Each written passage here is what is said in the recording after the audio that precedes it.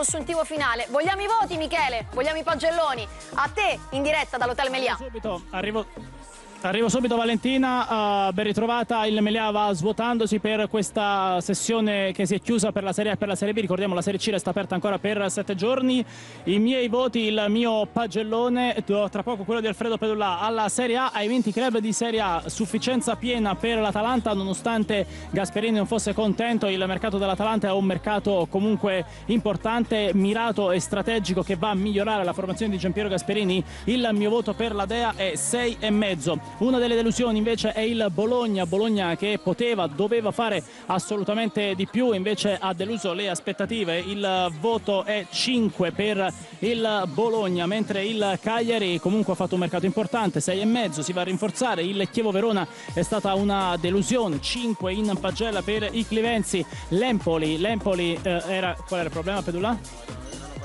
Erano passati i voti di Alfredo Pedullà. Tra poco gli daremo quelli di Alfredo Pedullà. l'Empoli voto 6 comunque ha costruito una squadra per la salvezza e con le proprie forze riesce a chiudere diversi colpi importanti. Non a caso l'ultimo strappato alla spalla a qua è un buon rinforzo per il centrocampo. Fiorentina 6,5 arriva Piazza è un giocatore che può comunque fare la differenza seppur arriva in prestito. Il Frosinone 6,5 sistema l'attacco fa dei colpi anche extra che non sarebbero da Frosinone ma riesce a concretizzare realizzare diverse trattative molto importanti, non ultima quella di Pinamonti 99 è arrivato oggi dall'Inter, voto importante, una sufficienza per il Genoa che a mio avviso fa un grande colpo in attacco con Favilli, l'Inter è la vera rivelazione di questo mercato, voto 9 per la formazione nerazzurra, il miglior mercato di ausilio, parametri 0 a Samoa, De Frey su tutti, ma anche Lautaro Martinez pagato poco, Keita pagato poco e lo stesso discorso per Versailles Versalico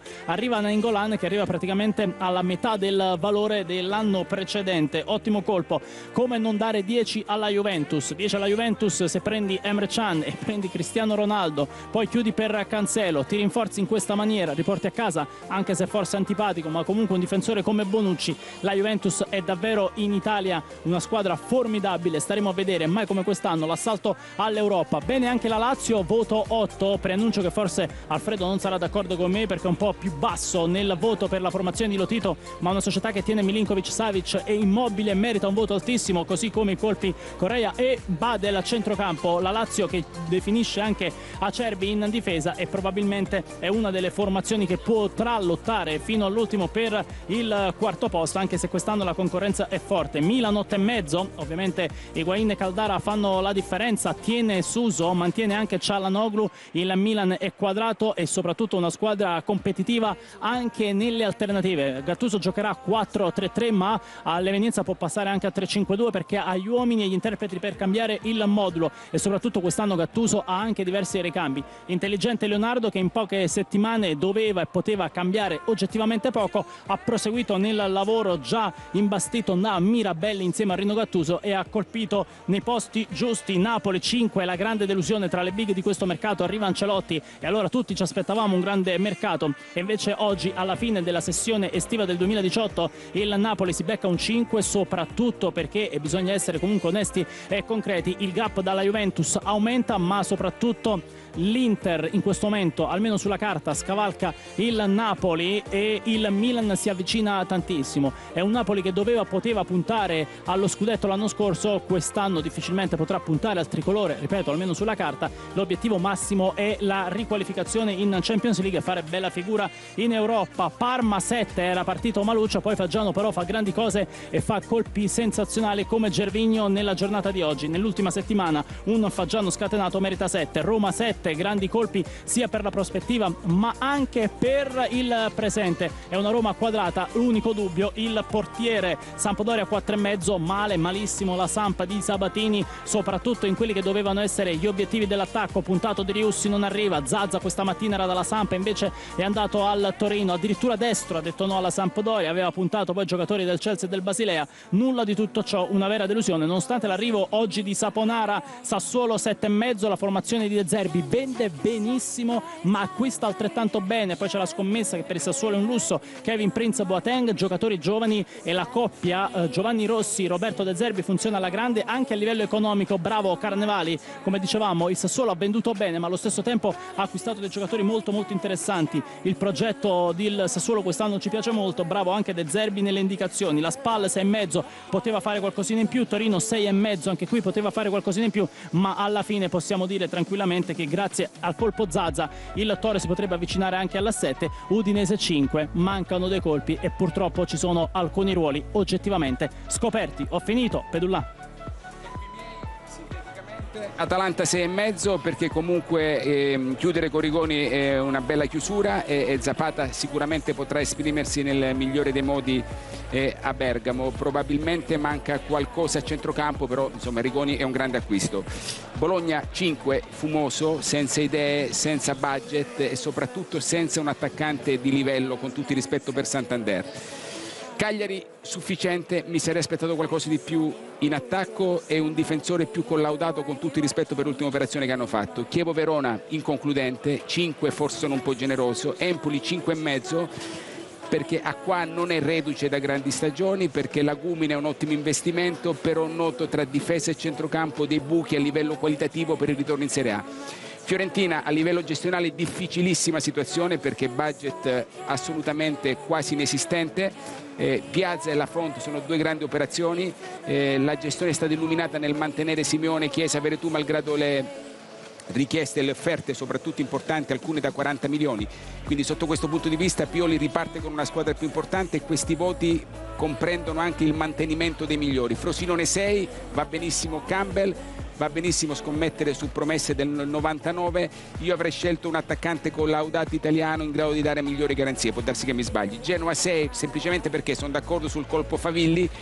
Ma in generale questo smontare e rimontare di ogni anno non dà delle certezze poi dipenderà anche dall'aspetto tattico e da quelle che saranno le idee di Ballardini che in, questo, in questi casi è sempre molto illuminato. Inter 9 indipendentemente dalle suggestioni delle ultime ore di mercato, un mercato superbo, enorme, il tasso qualitativo, eh, le alternanze che ci saranno maggiormente in attacco, l'arrivo di, di Keita, i centimetri e il fisico con Versalico, eh, duttile, Lautaro pronto ad esplodere, il mantenimento di Icardi, gli assortimenti sulle fasce, De Vrij a parametro zero, mercato molto molto molto importante da parte dell'Inter. Juve, Cristiano Ronaldo vale il prezzo del voto, è inutile che vada oltre. La Lazio 6,5, forse un po' basso, potrebbe essere 7 perché c'è stato il mantenimento. Vorrei capire quanto e come Correa, che stimo molto, potrà eh, dare il contributo che aveva dato a Sprazzi, ma l'aveva dato Felipe Anderson. Mi sarei aspettato un vice immobile più competitivo. Milan 8 perché ha fatto tanto bene negli ultimi 20 giorni di mercato, ripartendo e riaccendendo i motori quando la situazione era abbastanza complicata con Higuain, ma anche l'Axal Salte è un acquisto secondo me molto interessante. Il Napoli 6, mi spiego la sufficienza, capisco che daranno 4, 4,5, 5, tutti saranno su sintonie diverse, i voti sono molto opinabili e vanno accettati quasi per scherzo e per sport. 6 perché paradossalmente ha preso un grande allenatore come Ancelotti, 6 perché Fabian Ruiz e Verdi per me sono due ottimi acquisti, è chiaro che poi nella sintesi del discorso mi sarei aspettato eh, un attaccante, un colpo importante da 30-40 milioni giustificato dalla presenza di Ancelotti. Parma perché Gervigno, Inglese, Grassi, Sepe, investimenti sui giovani, l'usato sicuro, con Caramo sarebbe stato da 7,5 ma è un mercato importante Roma 7 mi resta qualche dubbio sull'esterno offensivo che non è arrivato e soprattutto sull'alternanza tra Alisson ed Olsen sperando che Olsen dimostri di essere all'altezza perché è un buon portiere forse non ha avuto un ambientamento eh, ideale. Sarebbe stato 7,5 forse 8 se avesse tenuto Alisson e 7,5 se avesse preso un esterno comunque un voto importante. Sandoria 4,5 per l'imbarazzante ultimo penultimo e terzultimo giorno. Cerchi un attaccante ne tratti 5 non ne prendi nessuno e avevi venduto Zapata circa un mese fa Sassuolo 7, sono d'accordo sulla valutazione, sugli investimenti oltre 20 milioni per Locatelli, per Marlos, il difensore e comunque per il mantenimento di una squadra che ha tenuto Berardi, ha ceduto Politano, ha soprattutto accontentato, De Zerbi in nome della gioventù e del tasso tecnico importante. Spal 6, 6 più, Torino 7 perché Soriano e Zazza dell'ultimo giorno valgono questo voto dal mio punto di vista, forse c'è qualcosa in meno sulle fasce in difesa, mi sarei aspettato un colpo lì, però la gestione è stata giusta, l'ultimo giorno, le ultime 24 ore sono state importanti, Udinese 4,5, poca fantasia, ha seguito degli attaccanti non li ha chiusi, ha seguito Seferovic non l'ha chiuso, ha cercato in Italia la Padule non l'ha chiuso e mi sembrano troppi punti di domanda in qualsiasi reparto.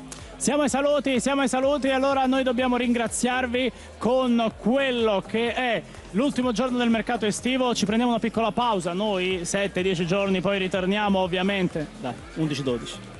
11-12. 11-12, basta. Poi eh, non abbiamo fatto un giorno di vacanza, quindi io e Pedulla vi salutiamo per 10 giorni, vi lasciamo nelle sapienti mani tra le braccia della regina di Sport Italia che è Valentina Ballarini che salutiamo che e ringraziamo, salutiamo, ringraziamo per l'affetto, la gentilezza, la cortesia il seguito hai detto 30% anche per le critiche, le polemiche ma soprattutto per l'affetto che ci hanno dimostrato in questi tre mesi Valentina ti abbracciamo forte, siamo nelle tue mani, noi ci rivediamo tra una decina di giorni per raccontarvi la Serie A, la Serie B, la Primavera, la Serie C, la Serie D, se poi andiamo ancora un po' più avanti. Grazie a tutti per questa sessione estiva di mercato davvero straordinaria, siete stati troppo buoni con noi tutte le sere e ci avete regalato delle emozioni, dei riscontri e degli ascolti che ovviamente ci danno una carica per il futuro sempre più grande. Grazie.